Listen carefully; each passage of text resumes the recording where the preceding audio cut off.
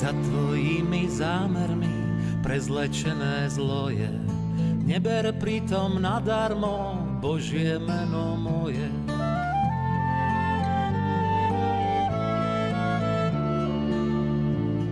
Ak slovom, skutkom staviaš sa len za nepokoje, nikdy neber nadarmo Božie meno moje.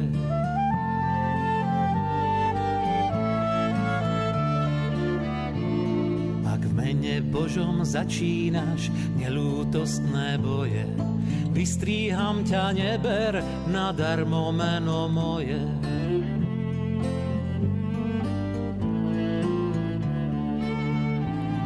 Ak ukrývaš si nenávisť za zbraní konvoje, neber si v tom nadarmo Božie meno moje.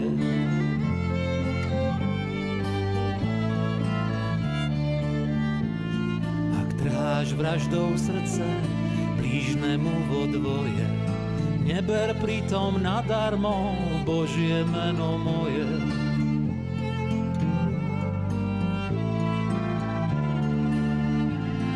Ak špiníš svoje svedomie obhajobou vojen, nikdy neber nadarmo Božie meno moje.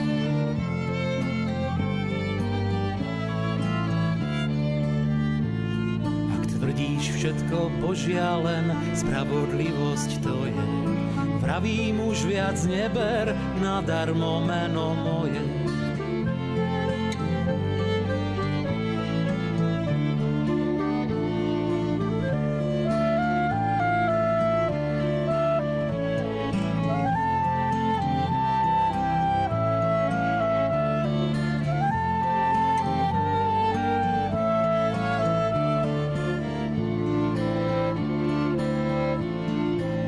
Ak aj som ťa stvoril ja, všetko tvoje, čo je.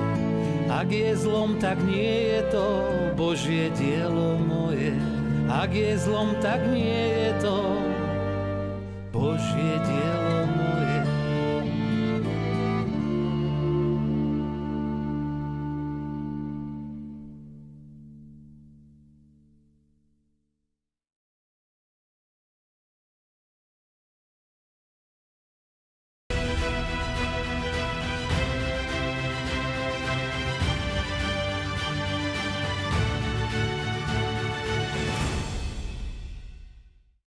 Požehnaný deň, milí diváci relácie online.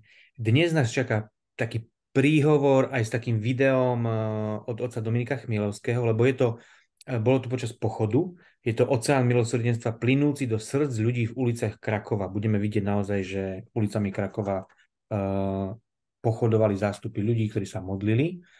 Uh, ja vítam Erika z Mionského Slovenského dohovoru za rodinu. Erik, ahoj. Pochválený bude Ježiš Kristus, prajem všetkým požehnaný večer. Hneď sa aj na začiatok opýtam, Erik, aké to bolo podujatie, alebo čo to bolo? Tak, no, bolo to stretnutie bojovníkov Márie 13. maja v Krakove v Lagevníkoch. Stretli sa tam tisíce bojovníkov spolu so svojimi rodinami na spoločnej procesii, aby si takto uctili a pozdravili Matku Božieho milosrdenstva. Mhm, ďakujem pekne. Dobre, veď potom si ešte povieme viac. Poďme si to vypočuť. Uh, veľmi pekné slova, uh, naozaj také v podstate také hlboké zamyslenia. My máme také tri body alebo tri, okruhy, tri okruhy, ktoré potom by sme chceli opäť s vami ešte prejsť. Poďme si teda vypočuť otec Dominik Chmielovský, Oceán milosrdenstva plynúci do srdc ľudí v uliciach Krakova.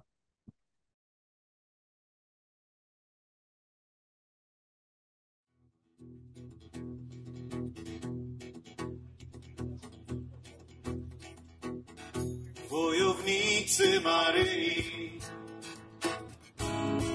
Czciciele Matki Boga, przez Maryję do Chrystusa. Wiedzie nasza droga. Z różańcem w dłoni Jeszcze raz. i wzniesionym mieczem walczymy na kolanach o życie wieczne.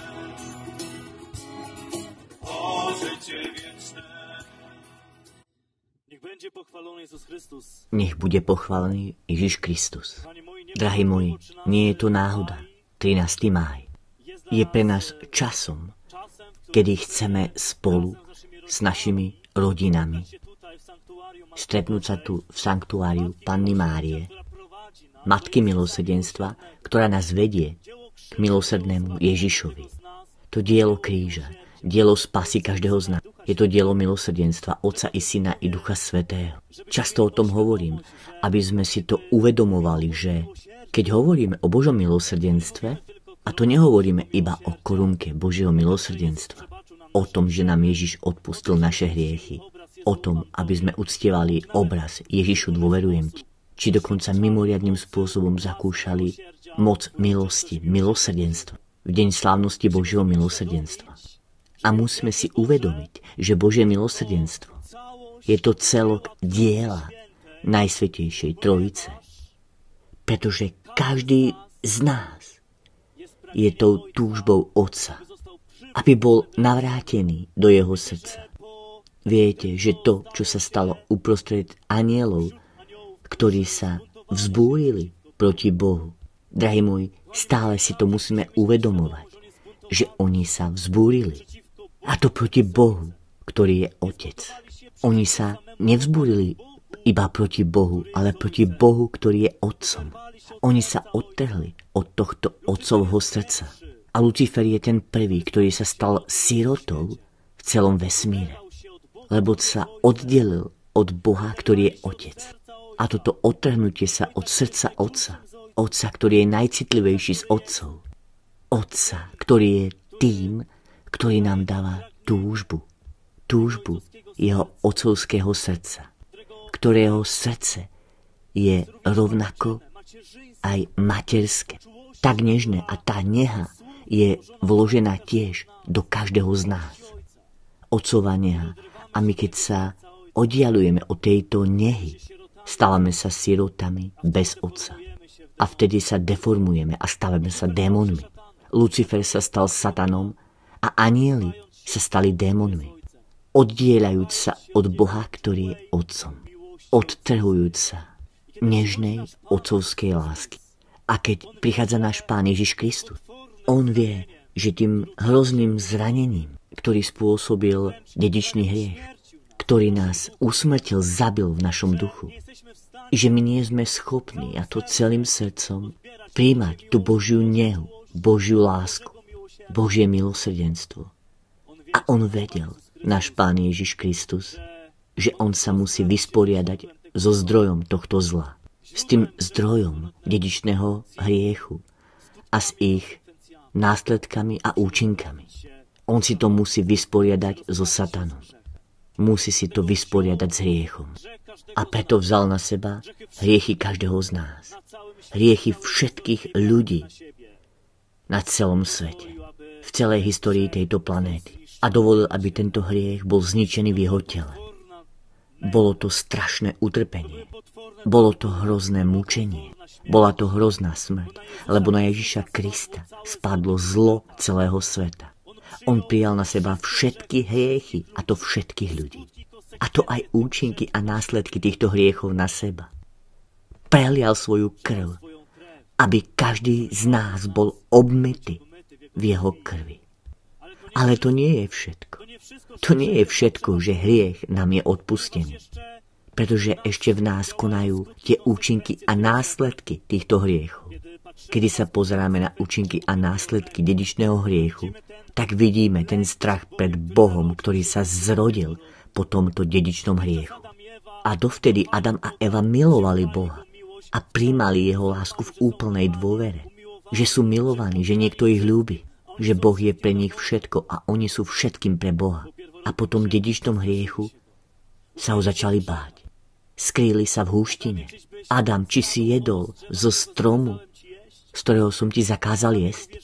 Adam, uveril si slovám démona. Uveril si satanovi a ne mne? Uveril si mu, že ťa nemilujem? Dovolil si, aby Satan zasial v tvojom srdci nedôveru, že ťa milujem, Adam? Adam, prečo? To nie ja.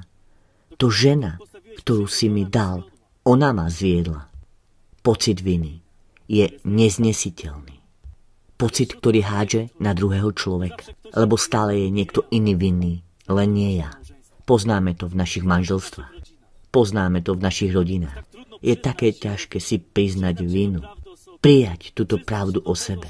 Prijať to o sebe, že to aj ja som vinný. A poprosiť o odpustenie.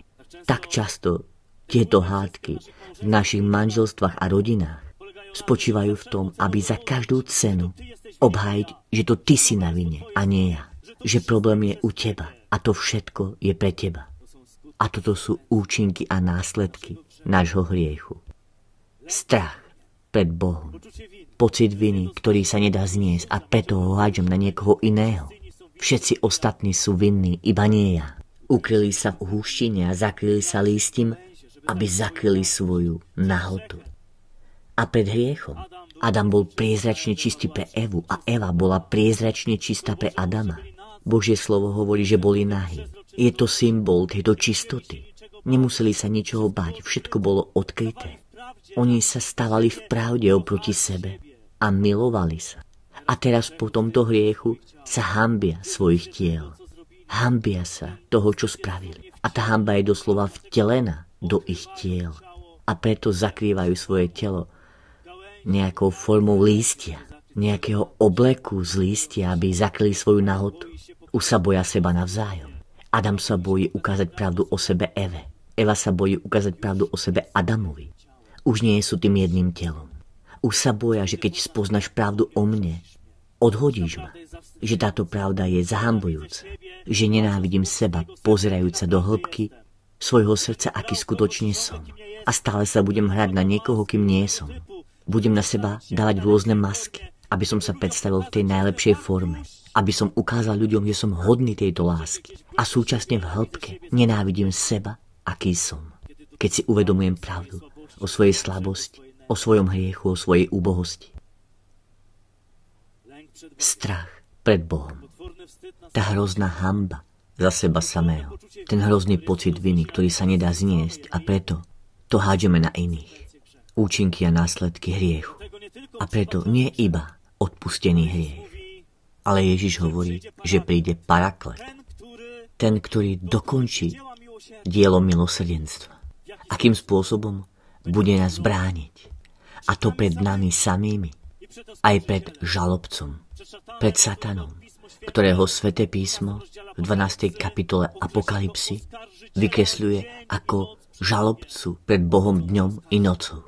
A z čoho ťa obvinuje? Z toho, že si beznádejný. Že ty nie si hodný Božej lásky. Že tvoje hriechy ťa odsúdia a pôjdeš do pekla. Že nie je pre teba milosrdenstvo.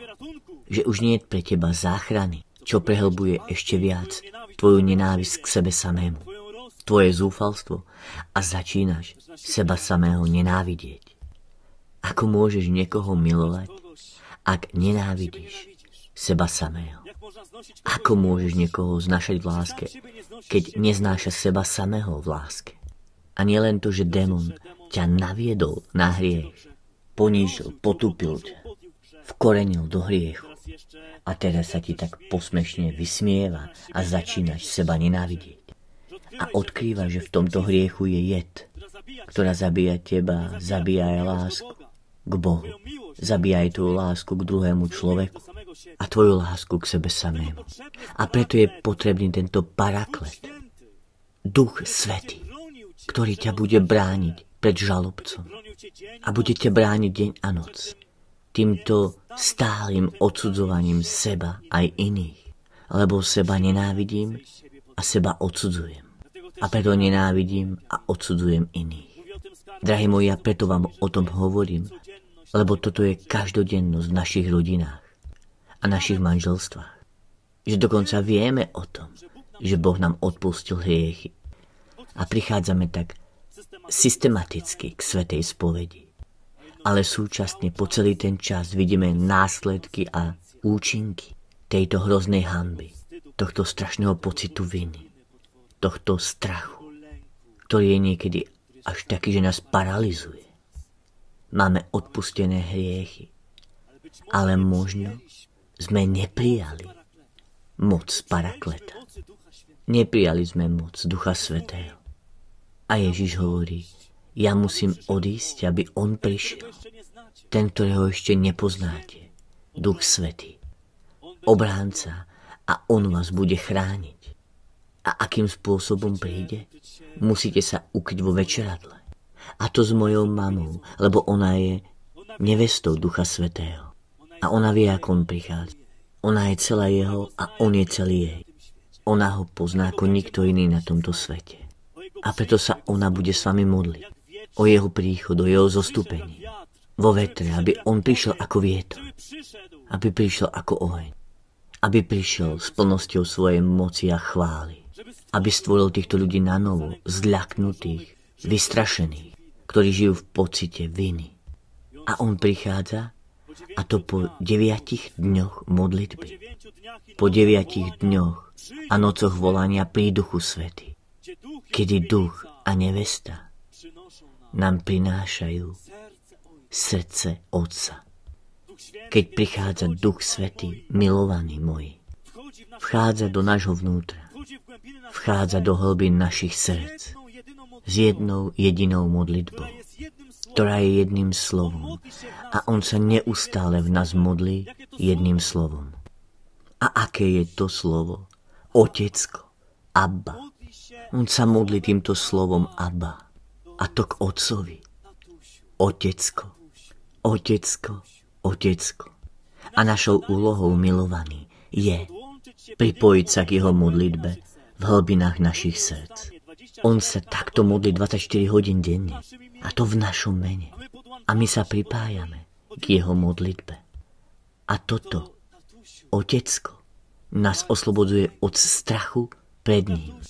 To Otecko nás oslobodzuje od hamby. Už sa nemusím hambiť. Peter, prvý apoštol, vysvetený za kniaza, biskupa, prvý pápež, hneď po primičnej svetej omši, niekoľko hodín neskôr, zrádza zapiera svojho Ježiša. Ale keď prichádza Duch Svetý, tento zahambený Peter, ktorý sa trasie pred Ježišom, ako ho Ježiš príjme po zmrtvých staní, ktorého si Ježiš berie na bok a pýta sa ho trikrát. Sa ho pýta, Peter, miluješ ma? Miluješ ma? Miluješ ma? Človek potrebuje, aby Duch Svetý na ňo zostúpil. On potrebuje jeho príchod, aby sa celkom oslobodil od hamby a pocitu viny. A Peter povie svojmu učeníkovi, Markovi, napíš evanieliu. Zradil som Boha. Niekoľko hodín predtým som hovoril. Nezapriem ťa, hoci by všetci ťa opustili. Ja ťa len tak nenechám a keď bude treba, pôjdem s tebou aj na smrť. A napíš to, Marek, nech všetci o tom vedia. Nech to čítajú všetci ľudia na celom svete, v celej histórii sveta až do skončenia sveta. Že som zradil Ježiša a moju lásku preverila obyčajná slúžka pri ohni. A nie oddiel tisíc legionárov s vytasenými mečmi. Obyčajná slúžka. Prestrašil som sa bál som sa ale on sa už nemusí hambiť, lebo vie, že Ježiš mu už všetko odpustil. Vie, že toto tiež bolo v Božom pláne. Aby Peter bol preosiatý v tej svojej občasnej píche. V tom presvedčení o tom, ako veľmi miluje.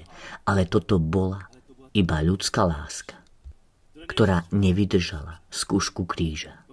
Drahí moji, a iba Duch Svetý nás prinavracia k Otcovi. Privádza nás k Otcovi, kde každý z nás, a už bez strachu, bez hamby, bez pocitu viny volať Otecko, totálne dôverujúc v jeho lásku k tebe, ktorá dáva taký pocit bezpečia.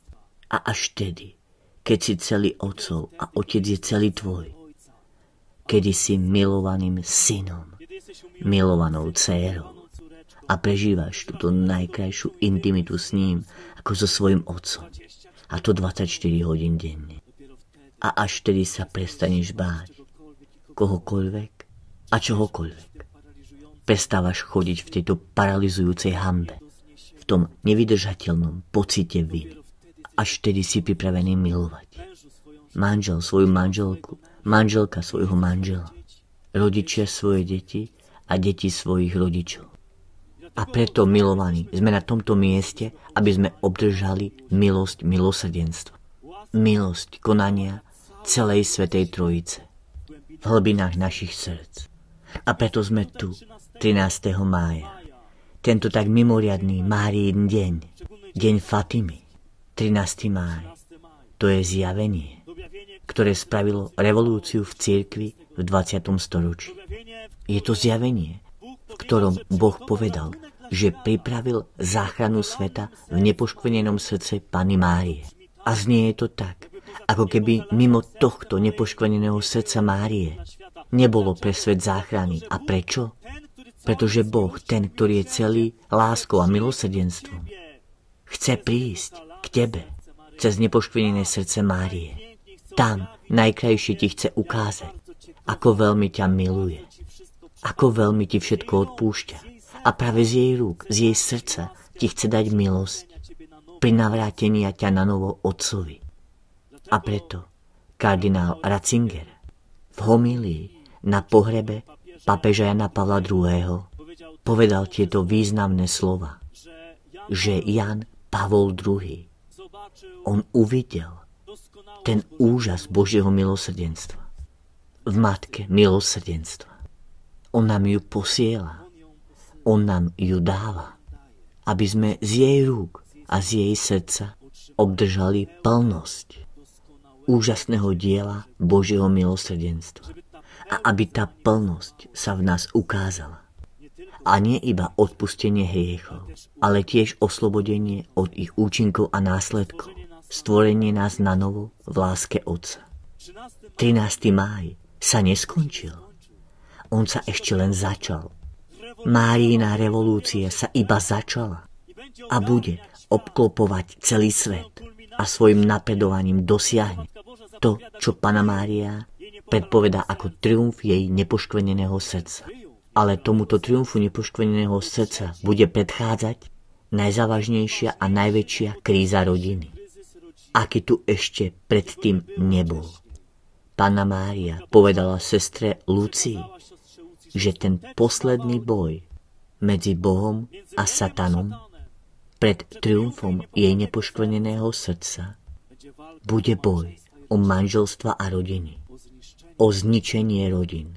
A vidíme, ako sa čoraz viac približujeme do tohto momentu vyvrcholenia. A manželstva sa dnes rozpadajú ako dom z karát. Niekto vo vašom okolí sa rozviedol, rozvádza alebo sa bude rozvádzať hrozná dráma miliónov detí. Bez otcov, bez matiek. Hrozná dráma pre deti, ktoré sa už necítia v bezpečí. A to vo svojich rodinách, lebo vidia, ako otec nemiluje mamu. Ako mama nemiluje otca. Ako otec si nachádza inú mamu. Ako mama si nachádza iného otca. Pre svoje deti. Dráma, úplné zničenie pocitu bezpečia rodí sa hrozný strach v dieťati. Veľakrát som sa pýtal deti na základnej škole, čoho sa najviac bojíte. Prekvapivo som dostával odpovede, aby s mama s otcom sa nerozviedli. Deti všetko vidia, všetko počujú. Umierajú v tejto deštrukcii pocitu bezpečia. Každá hádka, každé nadávanie, všetky vulgarizmy, každý zvýšený hlas, navrieskanie na muža, navrieskanie na ženu, spôsobuje deštrukciu pocitu bezpečia tvojho dieťaťa. A musíš o tomto vedieť. A preto musíš vynahradzať, zadosť učiňovať. To prosí Pana Mária vo Fatime. A myslím si, dáva nám táto Máriina charizma, zložená z troch lúčov pôsobenia, ktoré Boh pripravil pre nás ako záchranu v jej nepoškvenenom srdci. Nadovšetko, nadovšetko odovzdanie sa jej. Úplne sa jej oddanie. A žitie touto odovzdanosťou. A to pozvanie Márii do každodenného môjho života. Že robíme všetko spolu s ňou. Je to dovolenie, aby ona ma prenikla celkom. Aby ma ona použila tak, ako chce. Toto už nie sú moje predstavy na môj život. Chcem, aby ona realizovala jej predstavu pre môj život. A ja sa chcem tomuto úplne odozdať. Nechcem odporovať, deliť udalosti na dobre a zlé, lebo všetko je milosť. Všetko, čo je od nej, čo prichádza z neba, čo prichádza zo srdca Otca, každý deň pre mňa, je to to najlepšie pre mňa. A preto chcem, aby ona mi odkrývala tento Boží plán. A nebojte sa, tí, ktorí môžu zabiť telo, ale ducha zabiť nemôžu. Bojte sa toho, ktorý vás môže doviesť do pekla. Toho sa bojte. Budeme prežívať ťažké a bolestné situácie v našom živote. Ale oni sú zakodované v DNA bytia kresťanom. Čím je tvoja misia, ktorú musí splniť väčšia, tým viac ťa bude peklo chcieť zničiť. Ale sluha nemôže byť väčší, ako je jeho pán. A Ježiš hovorí, keď mňa prenasledovali, aj vás budú prenasledovať. Pamätajte si, že Ježiša prv znenávidel svet. On prvý prijal túto nenávisť celého sveta. Nenávisť celého pekla. A premohol túto nenávisť láskou prekonal túto nenávisť odpustením. Celkovité odovzdanie sa jej to spravila Lucia, ktorá celý svoj život, táto vizionárka s Fatými, ukazovala, čo to znamená žiť úplne zasvetená nepoškvrnenému srdcu Márie. Musíš mať úplné presvedčenie, že keď žiješ týmto zasvetením, keď jej odovzdáš každý svoj deň a pozývaš ju do každej chvíle tvojho dňa, tak naozaj všetko je jej plánom pre teba. Už nedelíš veci na dobré a zlé. Už je všetko iba dobré. Všetko je iba dobré, lebo Boh dáva všetko dobré pre tých, ktorí spolupracujú s jeho milosťou. A potom druhá vizionárka s Fatimy, malá Hyacinta, ktorá ukazuje na ten druhý lúč Márijnej spirituality. A to k drveniu diel diabla v našom živote. Prijatie a to mimoriadným spôsobom utrpenie.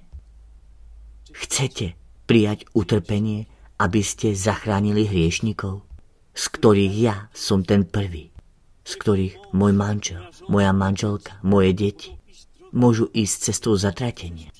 Chceš prijať utrpenie, aby boli zachránení od pekla. Pana Mária je najkrajšou mamou a najúžasnejšou vychovateľkou. A ona sa nebala týmto malým deťom 7, 8, 9 rokov ukázať hrôzu pekla. Lucia povedala, že ak by nám Pana Mária neslúbila, že pôjdeme do neba, asi by sme zomreli z hrôzy.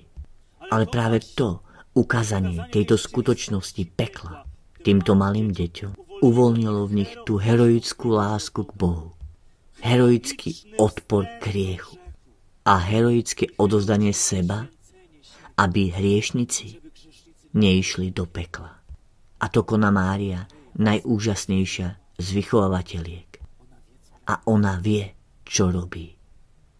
Hyacinta brala na seba neuveriteľné utrpenie. A Mária prosí každého z nás. A to na príhovor tejto mladej devčiny, ktorá heroicky trpela pre Máriu, zachraňujúc hriešnikov pred zatratením aby sme to, čo prichádza každý deň, to, čo je ťažké, to, čo nám nevyhovuje, to, čo nás zraňuje, to je tá chybajúca láska.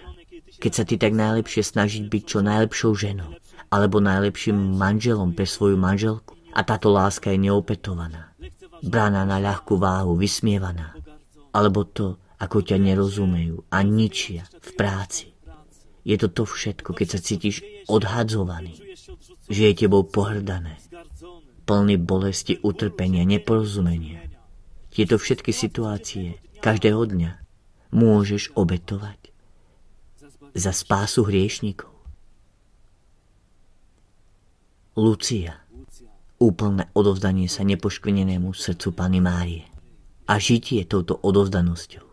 Hyacinta, utrpenie, spájajúc svoje utrpenie s utrpením Ježiša. Spája svoje utrpenie s utrpením Márie aby zachraňovali hriešnikov. Úžasné bolo, že keď zomrela, tým posledným znakom, ktorý nám Mária dala cez toto malé dievča, boli krvavé slzy, ktoré plynuli z jej očí a zatvorila svoje oči a prešla do neba. Krvavé slzy. Ako veľmi sa obetovala za hriešnikov. Ako veľmi to utrpenie každodenného obyčajného dňa, pred ktorým tak veľmi utekáme, ktorého sa tak veľmi bojíme. Akú to má hodnotu v Božích očiach, kedy to spojíme s utrpením Ježiša na kríži a s utrpením Márie pod krížom. A tretí vizionár, František, tento tretí lúč charizmy Marijnej spirituality, ktorým chceme všetci žiť ako bojovníci Márie. František, pôjdeš do neba, ale neskôr. Ale musíš sa pomodliť ešte veľa ružencov. A takže nie iba nepoškvrnené srdce, zasvetenie sa nepoškvrnenému srdcu. A nie iba príjmanie utrpenia, spájanie sa s utrpením Ježiša a utrpením Márie a obetovanie toho za hriešnikov. Ale je tu ešte rúženec. Táto úžasná zbraň, ktorá bola daná v autorite Božieho kráľovstva, aby ničiť a dreviť diela diabla v tvojom živote, v tvojom manželstve a v tvojej rodine. Veľa svedcov a mystikov, veľa ľudí ustavičnej modlitby učinilo rúženec neustálou modlitbou. Učinili rúženec neustálou modlitbou svojho srdca. Rúženec, prečo je tak účinný? Rúženec ti prináša všetky milosti Boha, ktoré On pre teba pripravil. Rúženec sa začína týmito slovami. Chajre ke charitomene. Raduj sa, plná milosti. My sme to preložili v jazykoch ako zdrava z Mária. Ale častokrát si neuvedomujeme, čo znamenajú tieto slova. Boh k tebe prichádza, keď sa začínaš modliť zdrava z Mária. S týmto prvým slovom z neba. Raduj sa, Raduj sa, Kristián. Raduj sa, Beatka. Raduj sa, Patricia. Raduj sa, Peter. Raduj sa, lebo prichádzam k Tebe. Radosť je tým obrovským darom Ducha Svetého, ktorý tak veľmi potrebujeme v tomto smutnom, tak plnom zúfalstva svete. Raduj sa. A keď sa modlím zdravá z Mária, tak volám k Bohu a on prichádza s darom lásky ku mne. A to na orodovanie matky radosti. Na jej orodovanie matky radosti. A keď začínam hlásať slova Boha, ktoré on odozdáva, a to prostredníctvom Archaniela Gabriela, toho aniela, ktorý je Archanielom Božieho zjavenia. Začínam príjmať toto Božie zjavenie pre mňa a to na teraz. A toto Božie zjavenie, aby bolo prijaté, tak to musí byť spojené s tým, čo je práve centrom zdrava z Mária. A to s menom Ježiš. Centrom zdrava z Mária je zvelebenie mena Ježiš. A keď sa modlí zdrava z Mária, musíš byť o tom úplne presvedčený. Že od toho raduj sa, Dominik. Od týchto prvých slov Boha práve pre mňa Pripravuješ sa práve týmito slovami k oslave mena Ježiša Krista v mojom živote. Kráľovanie tohto mena v mojom tele, v mojej duši a v mojom duchu. Toto meno Ježiš je centrom zdrava z Mária. Táto oslava jeho mena, ktorým sme boli oslobodení od zatratenia, je stredom, centrom zdrava z Mária. A na toto meno Ježiš sa musí zohnúť každé koleno. Bytosti nebeských, zemských aj podzemských. A každý jazyk musí vyznať, že Ježiš Kristus je pánom k sláve Boha Otca. A keď velebíš toto meno Ježiš, zdrava z Mária, keď to vyslovuješ, je to plnosť viery, nádeje a lásky. Trasie sa celé peklo, lebo všetko, čo je z pekla v tvojom živote, musí teraz zohnúť svoje koleno pred týmto menom Ježiš, ktoré ty vypovedáš s celou mocou, modliať sa tou úžasnou modlitbou. Raz Ježiš jednému zo svojich svetých povedal, v mojom mene Boh vám nič neodmietne, keď sa modlíte. A sveti sa pýta, prečo, keď sa modlíme v tvojom mene, nedostávame toľko milosti alebo len tak zriedka. Ježiš hovorí, lebo ste sprofanovali moje meno. Na novo musíte nájsť moc mena Ježiš. Budete sa musieť z toho vyspovedať, že toľkokrát hovoríme, tak v skutočnosti profanujúc toho mena Ježiš. takým obyčajným, každodenným. O Ježiš, o Ježiš, Mária. A nikdy som si tak neuvedomil, aká moc mi je daná v tomto mene. A dokonca aj keď sa modlím zdravá z Mária, v tomto mene nedostávam to, o čo prosím, lebo vo svojom každodennom živote som už sprofanoval toto meno. Čin pokánie, odprosuj, že toto meno ti tak zovšednelo. Že toto meno sa niekedy stalo takým iba slovom v tvojom ľutovaní sa nad sebou. A preto toto meno nemôže oslobodiť túto celú Božiu veľkosť. Vráť sa k tej veľkosti mena Ježiš.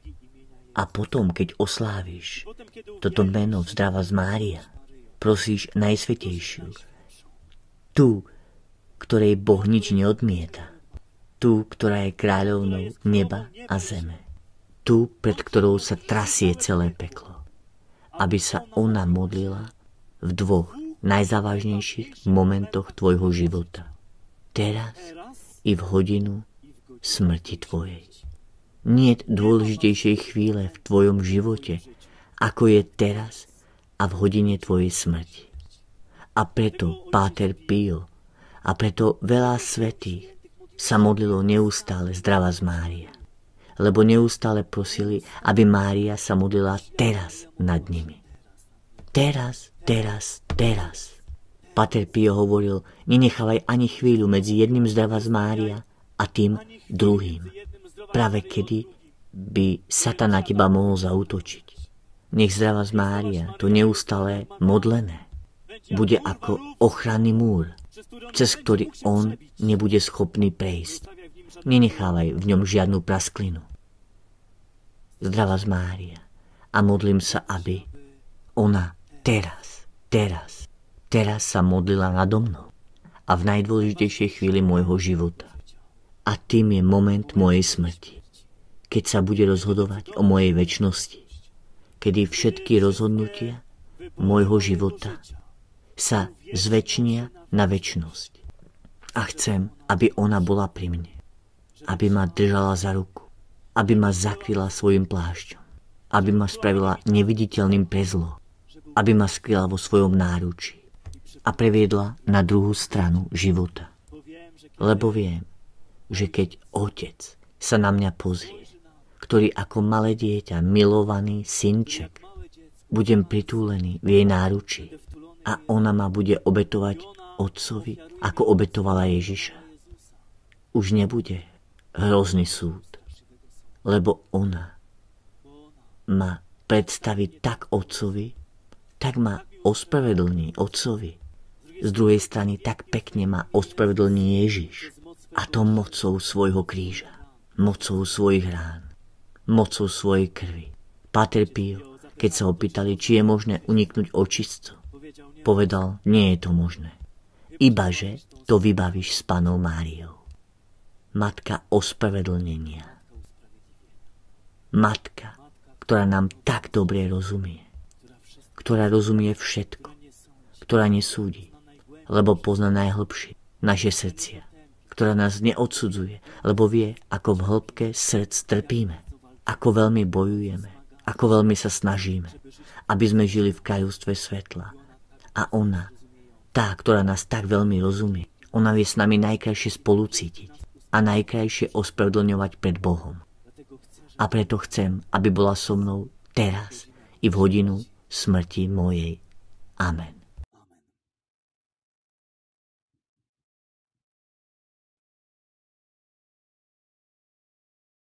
Tak sme späť. Uh, bolo to také, také pekné, že naozaj na zamyslenie. Uh, Erik, máme také tri okruhy. Hneď ten prvý okruh začneme takú otázku, že prečo sa stal Lucifer satanom? Uh, čo všetko, uh, o čo všetko nás hriech pripravuje? Ako nás mení? Uh, toto si skúsme tak ozrejmiť, vysvetliť, ako to tam bolo povedané.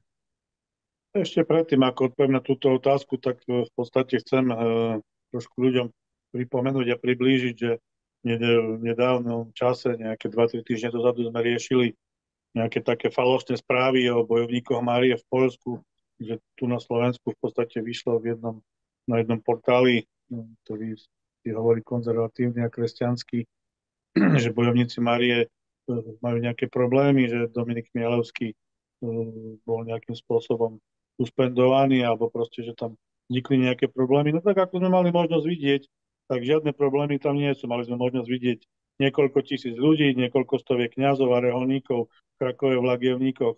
Veľmi krásne podujatie, veľmi, veľmi e, silná modlitba Ruženca. Dominik, otec Dominik Mielovský tam bol, e, slúžil svetu omšu, pokiaľ sa dobre pamätám. Čiže naozaj žiadne také e, zbožné priania tých nepriateľov marianskej úcty a, a nepriateľov bojovníkov Marie sa, sa našťastie nenaplnili, pretože no, otec Dominik Mielovský bol síce poverený inou úlohou, ale, ale stále vlastne pôsobí aj bojovníkov Márie. Čiže toto je pravda. Nič také sa tam neudialo. Ja ešte musím zareagovať aj na, dostali sa k nám informácie, že jeden veľmi známy český teológ, dositeľ Tempel Trnovej ceny, e, začal šíriť takú informáciu, že otec Dominik Mielovský bol e, exkomunikovaný alebo suspendovaný, to ešte nevedel pre, upresniť, že bojovníci Marie boli zrušení, že, že hlása blúdy teologické a že bol za to potrestaný. Čiže naozaj vidím, že to, to tá čierna šelma, ktorá je pomenovaná v modrej knihe, to, to cirkevné slobodomorárstvo sa činí a, a, a tí ľudia naozaj sa neštítia hlásať klamstva a blúdy napriek tomu, že není absolútne žiadny problém si overiť informácie. Čiže toľko k tomu, tomu úvodu, k tomu pochodu, naozaj tí, čo ste si mysleli, že nejakým spôsobom tam vznikol problém, kde je nejaký, nejaký postih oca Dominika, tak máte možnosť vidieť, že žiadny postih neexistuje a, a všetko hovorím, sú to božné priania slobodomurárov cirkevných, ktorí sa snažia odstrániť mariánsku úctu. A poďme sa teraz k tejto otázke. Tak naozaj um, keďže sme boli v Krakove a rozprávali sme sa, celá táto prednáška bola o Božom milosrdenstve a o pochopení jeho, si rôzne situácie, ktoré otec Dominik vysvetľoval. A hneď na začiatku nám povedal takú jasnú pravdu, že Boh chce zachrániť každého z nás. Čiže naozaj každého, aj toho posledného vraha, aj toho posledného narkomána, aj toho posledného, už neviem koho, by som si mal vymyslieť, naozaj každého človeka bez výnimky. Čiže každý, každý má šancu, nikto sa nemusí bať, nikto si nemusí zúfať. A prvý, ktorý túto snahu odmietol, bol Lucifer a anieli, ktorí ho nasledovali.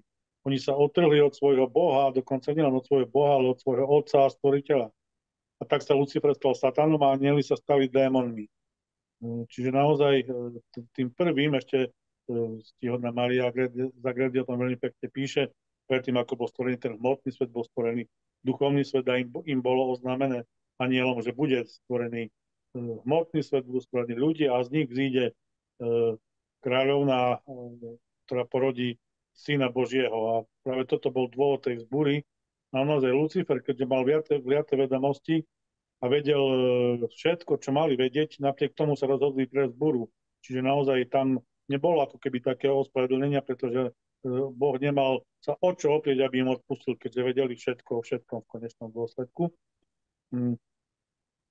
A tu aj, tu po, po, poukážem na jednu takú zaujímavosť, keď e, Lucifer vlastne naviedol Adama a Evu na hriech, tak on si myslel, že dopadnú presne takisto, ako dopadli oni, že naozaj budú, že, ľud, že ľudstvo, ľud, ľudia budú zvrhnutí do pekla a tam skončia, ale Boh práve toto zohľadnil, že, že e, Adam a Eva nemali vliate vedomosti, nemohli vedieť to, čo vedeli anieli, čo vedel Lucifer a preto bola vlastne e, z raja boli vyhnaní, ale ale bolo im ponúknuté možnosť pokračovať nie v pekle, ale tu na zemi a, a vlastne svojim životom e, s konaním dobrých skutkov si mohli zabezpečiť to nebo. Čiže, čiže tam sa Lucifer prerátal a mm, tak Ježiš Kristus vlastne prišiel a vzal všetky naše hriechy, minulé, súčasné a budúce. Čiže on to spravil pre ľudstvo, e, aby nás spásil. A vlastne všetky tie hriechy E, skončili v jeho tele, v jeho tele bol tento hriech zničený na kríži. Že naozaj ten akt, e, ten fyzický akt spôsobil to, že naozaj jeho krvou sme boli spasení. A Ježiš Kristus prišiel aj kvôli tomu, aby sa vysporiadal so zdrojom dedičného hriechu, čiže so satanom. Je tu však ešte jeden problém, účinky a následky dedičného hriechu. Adam a Eva milovali Boha, no po svojom hriechu sa zrazu skryli pred Bohom, dostali pocit viny a začali sa navzájom obviňovať. A tento strach a pocit viny pretrváva aj v nás. My neustále odmietame uznať si svoju hriešnosť a stále poukazujeme na niekoho iného a toto je obrovský problém. Uh, ďakujem pekne. Potom vlastne poďme z tej opačnej strany. Akú úlohu má Duch Svetý? Prečo musel Ježiš Kristus odísť potom vlastne pod mŕtvych staní? A v čom spočívala úloha Panny Márie v tých časoch? Hej, hovorím o tých časoch. Ježiš hovorí, že príde paraklet, ten, ktorý dokončí dielo milosrdenstva, ktorý nás bude brániť pred žalobcom, pred satanom, ktorý nám nahovára, že pre nás nie je záchrany milosrdenstva a spásy a snaží, snaží sa v nás zabiť lásku k Bohu, k ľuďom a k sebe samému. Ježiš hovorí, že musí odísť, aby on prišiel, aby Duch Svety prišiel, aby prišiel ten, ktorého oni ešte nepoznali. A e, naozaj, ja si, nie som si spomenul pri týchto slovách, lebo nedávno u nás u Františkánov mal jeden páter takú kázeň, kde on hovoril, že, že Ježiš Kristus musel odísť. On nemohol ostať celý život s apoštolmi, pretože tí apoštoli, oni ho vnímali ako nejakého mesiáša, ktorý príde, porazí Rímanov, vlastne vytvorí už raj na zemi, ale úloha Ježiša Krista nebola taká. Úloha Ježiša Krista bola im e, vysvetliť e, vlastne to učenie, vysvetliť to Božie slovo. A on musel odísť, aby tí apoštoli sami potom vlastne skrze Ducha Svetého získali tú silu, aby, aby e, potom získali tú odvahu a vydali sa do sveta. Napriek tomu, že on už tam nie je. No a tu, tu vlastne ak, akým spôsobom príde Duch Svety, tak tu sa tu odkazoval Ježiš Kristus na panu Máriu, ktorá je, ktorá je nevestou Ducha Svetého, čiže naozaj ona vedela, čo všetko sa udeje. Ona e, e, tam bola tá hlavná osoba, s ktorou čakali apoštoli vo večeradle na jeho príchod a s ňou sa modlili a prosili Otca. A Duch Svetý prichádza naozaj tí prestrašení a skrytí apoštoli sú e, zrazu naplnení jeho mocou. Svetý Peter, ktorej, ktorého z jeho pýchy vyliečila obyčajná slúžka, pretože on nezradil Ježiša pred e, nastúpenou nejakou rotou Rímanov, ktorá ho išla zabiť, ale on zradil Ježiša naozaj e, pred, kvôli otázke jednoduchej služky, ktorá sa ho spýtala, že či on náhodou nepatrí tým Ježišovým učeníkom v tom čase, keď Ježiša išli ukrižovať. Čiže on naozaj uznal, že, že bol pyšný, že, že, že, že potreboval byť vyliečený a dokonca to ešte prikázal napísať do Evanielii, čiže aby sa v každom čase ľudia mohli e, dozvedieť, čo sa udialo, aby aj sami potom vedeli, že naozaj pícha nie je to, čo človek potrebuje a že, a že aj, aj taký človek ako, ako svätý Peter, ktorý bol prvým biskupom, prvým papežom, zradil hneď niekoľko hodín po, po, po tom, ako bola vyslúžená prvá sveta omša. Čiže naozaj e, tá pícha z Petra ako keby opadla e, skrze Ducha Svetého a, a Duch Svetý naozaj koná a z prestračených apoštolov sa stávajú ohlasovateľia, ktorí roznášajú Božie slovo do celého sveta. Áno, ďakujem pekne. Ten záver opäť, tak ako veľmi sa tešíme, keď máme taký ten uh, pozitívny záver, záver s myšlienkou, záver s nejakým návrhom. A naozaj aj tu na konci vlastne zaznelo, že od Boha sme dostali vo Fatime najmocnejšiu orodovnicu panu Máriu, to vieme, a prostredníctvom nej tri konkrétne pokyny, čo urobiť, aby sme uh, boli spasení. Povedzme si o tých troch pokynoch tak ten 13. maj bol vybratý preto, lebo to bolo naozaj, ten pochod vlastne sa udial e, v Krakove v Lagevníkoch preto, lebo to bolo prv, výročie prvých fatimských zjavení a v tom fatimskom zjavení nám vlastne Boh hovorí, že pripravil záchranu sveta v nepoškodenom srdci Panny Márie, čo bola taká novinka dovtedy, ale naozaj toto nám bolo v tom zjavení prezradené. Pretože Boh chce prísť k nám cez nepoškodené srdce Panny Márie a tu spomína Benedikt 16 homilii na pohrebe Jana Pavla II. Eh, on vlastne Benedikt 16. v tej homilii vyhlásil, že Jan Pavel II. bol ten, ktorý pochopil, že Božie milosrdenstvo dostávame skrze nepoškodené srdce Pány Márie. Pretože práve Jan Pavel II. bol ten, ktorý ustanovil Sviatok Božieho milosrdenstva a Jan Pavel II. bol vlastne ten, ktorý ako keby odkryl to tajomstvo Fatimy a ktorý vlastne to tajomstvo aj žil. Čiže veľmi silné myšlienky dvoch eh, pápežov, pred triumfom nepoškodeného srdca Pány Marie, hovorí otec Dominik, však príde veľká kríza manželstva a rodiny. To nám hovorila aj sestra Lucia s Fatými, presne o tom my sme to mali ako, ako také heslo na tých pochodoch, keď sme chodili e, vlastne po Slovensku e, modliť sa e, proti, za odmietnutie istambulského dohovoru. A naozaj my žijeme v týchto časoch, rodiny sa rozpadávajú, deti žijú bez otca, bez mamy. Uh, otec Dominik sa pýtal deti na základe čoho sa na, uh, na, na základnej škole, čoho sa oni najviac boja. A odpoveď bola taká, že oni sa boja najviac toho, aby sa ich rodičia nerozviedli, aby tak vlastne neprišli o pocit bezpečia. Čiže naozaj ten, ten pocit bezpečia vo vzťahu je to najdôležitejšie a presne na toto sa útočí, lebo dnes sa už považuje za rodinu aj e, polovičná rodina, čiže bez jedného z rodičov, alebo dokonca rodina, kde sú dvaja e, muži, alebo dve ženy, alebo proste už nielen dvaja, ale aj traja, proste rôzne iné kombinácie. Tá rodina absolútne je dehonestovaná, ten pojem manželstva je absolútne profanovaný a naozaj tie deti žijú vo vzťahovom chaose, pretože už sami nevedia, kto je ich brat, kto je ich mama, kto je otec, kto je ujo, naozaj, kto je babka, detko, majú štyri babky, štyroch detkov. Proste to sú, to sú zmetky, ktoré vniesol Satan e, týchto časov a proti ktorej my sa musíme jednoznačne postaviť. E, a pána Mária nám o Fatime vlastne e, dáva tri zbranie, ako, tú, ako túto situáciu vyriešiť. Tá prvá zbraň je zasvetenie sa Pane Márii. Zasvetiť sa znamená konať skrze ňu a s ňou všetko Peklo nás bude chcieť zničiť tak, ako chcelo zabiť Ježiša Krista, no ak sa zasvetíme, nemusíme sa bať.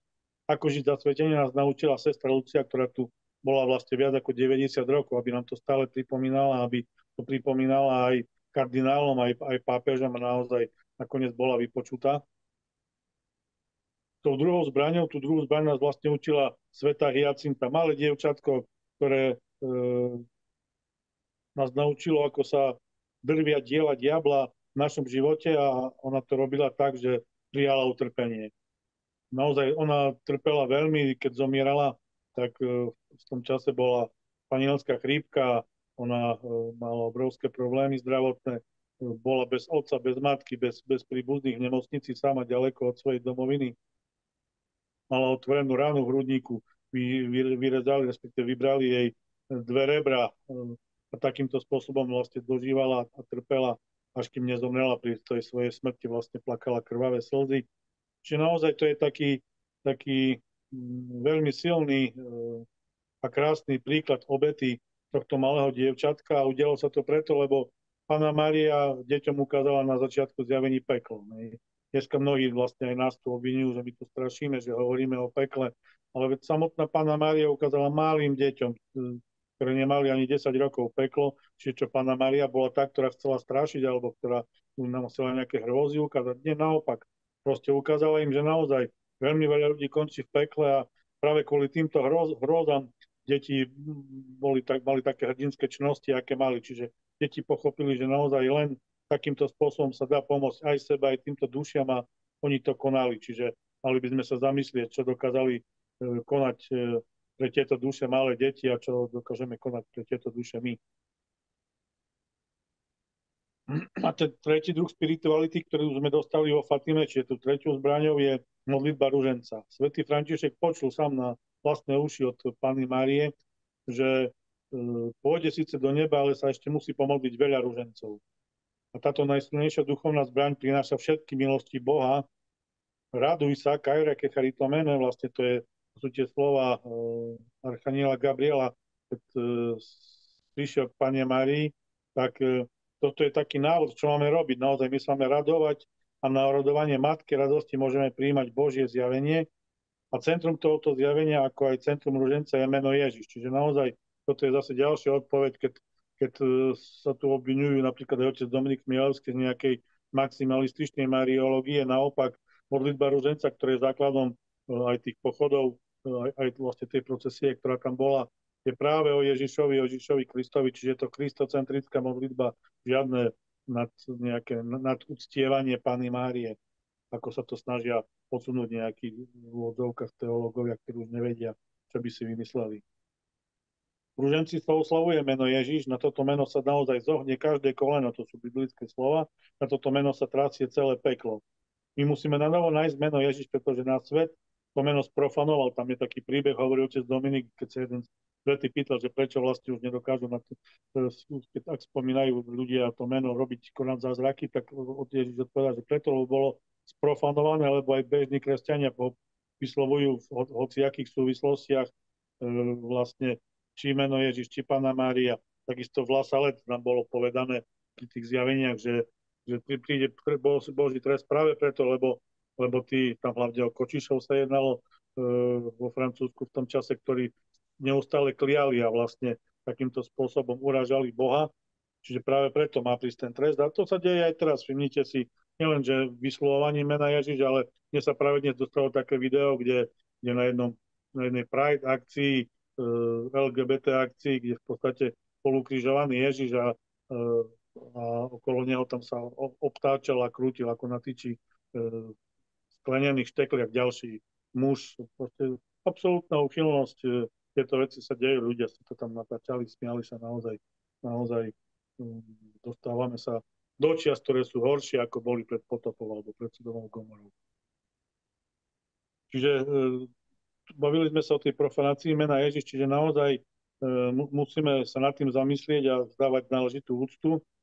A ďalej v rúženci hovoríme, to je taká podstatná časť e, toho odkazu oca Dominika, roza nás hriešných teraz i v hodinu smrti našej Amen. Čiže naozaj teraz a v hodinu smrti našej. Čiže pre kresťana sú to dve najdôležitejšie, e, dva najdôležitejšie momenty. Čiže teraz, lebo my nežijeme ani v minulosti, lebo to už sa stalo, ani v budúcnosti, lebo my to nevieme ovplyvniť, čo sa bude diať, ale my žijeme teraz. Čiže teraz máme prosiť Matku Božiu, aby bola s nami, aby sme sa nepomýlili, aby sme kráčali tam, kde máme kráčať. A smrti našej, lebo e, v hodinu smrti našej sa bude rozhodovať, či, či získame ten väčší život, či na väčšie veky budeme žiť v raji, alebo pôjdeme tam, kde predpokladám, že nikto z nás nechce ísť, že skončíme v pekle, alebo v tom lepšom prípade v očistci. Čiže naozaj o to máme prosiť, e, o to máme žiadať, aby hodinu smrti našej Amen bola pri nás naša matka. A na konci cituje otec Dominik svätého Pátra Pia, ktorý povedal tieto veci. E, povedal, že nesmieme nechávať ani, ani chvíľočku voľnú medzi prvým zdravasom Mária a tým druhým, lebo vtedy Satan útočí. Zdravá z Mária vytvára taký ochranný múr, cez ktorý sa Satan nedostane. A keď sa pýtali Patra Pia, že ako sa dá vyhnúť očistu, tak on povedal, že očistu sa vyhnúť nedá, jedine sa vyhneš e, očistu vtedy, ak si to vybavíš u Panny Márie. A preto naozaj ten záverečný odkaz je taký, chceme, aby bola Pána Mária s nami teraz i v hodinu smrti našej. Amen. Erik, ďakujem pekne. A tu vlastne je aj odpoveď na to, prečo robíme pravidelne 13. v mesiaci 24-hodinové modlitby e, svätého Ruženca, prečo v máji a v oktobri robíme 31-dňový maratón e, svätého Ruženca, lebo vlastne počuli sme práve teraz, hej, pán, pán Boh, pán Ježiš nám dal, chce skrze nepoškodené srdce Pany Márie spasiť svet, spasiť nás, každého konkrétne. Veľmi pekný príhovor, ďakujem pekne, tak verím, že budeme mať takéto ďalšie. Prajem požehnaný čas Čau všetkým a chcem vás pozvať 13. júna. Uh, už vieme, kde sa budeme modliť, 24 hodín po týždeň non bude to v plyne na Orave, čiže uh, pozývam vás všetkých 13. Uh, od polnoci vlastne už, už od skorého rána sa modlíme a, a po 18. bude Sveta Omša dole v dedine a, a po Svetej Omši dnes bude procesia hore Sofie Ježiša Krista, čiže všetci ste, ste pozvaní. Super, veľmi pekne ďakujeme a v, pod, Eh, v podstate tí, ktorí nedostávate od nás newsletter informácie, tak sa prihláste na stránke www.slovenskýdohovor.sk, dajte si odber noviniek, dostanete informácie aj o tomto 24-hodinovom ruženci, aj iné informácie o nás. Ďakujem pekne, Erik, ešte raz. Príjemný čas ešte všetkým. Páčila sa vám naša relácia online? Ak nás chcete podporiť, môžete tak urobiť platbou na číslo účtu Slovenského dohovoru za rodinu alebo pre platbu môžete použiť QR kód. Vďaka vašim milodarom vám môžeme sprostredkovať aj viac ako 20 relácií denne. Vďaka vašim príspevkom vysielame aj 31-dňový maratón 24-hodinového posvetného ruženca. Vďaka vašim príspevkom vysielame aj 24-hodinové modlitby posvetného ruženca s našimi duchovnými pastiermi, otcami biskupmi, kňazmi, reholnými rádmi a aj laickými spoločenstvami. Vďaka vašim milodarom môžeme technicky zabezpečiť aj živé vysielania, v ktorých sa aj vy s nami modlíte. Vďaka vašim milodarom vám môžeme priniesť hodnotné katolícke filmy a dokumenty – Ďakujeme vám za každý milodar. Modlite sa za nás.